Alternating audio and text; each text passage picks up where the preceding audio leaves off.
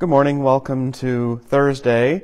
Uh, continuing in the season of Lent, on Tuesday I mentioned that we are going to be using the song Come Thou Fount of Every Blessing every week in some way. We're not going to sing the hymn every week, but choir, a prelude, um, a prayer response.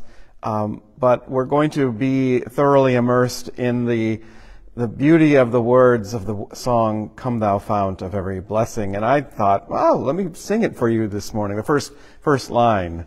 Uh, so it's, and in the New Century, it's Come, O Fount. You know, they did away with thees and thous. Um, you know.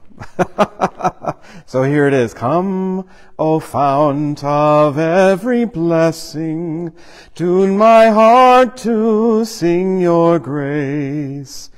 Streams of mercy never ceasing, call for songs of endless praise. Teach me some melodious sonnet sung by flaming tongues above. Praise the mount, I'm fixed upon it, mount of God's unfailing love.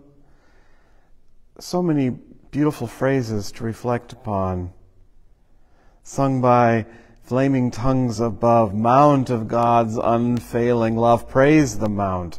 O come, O fount of every blessing. Help us all have a grateful day. Bye.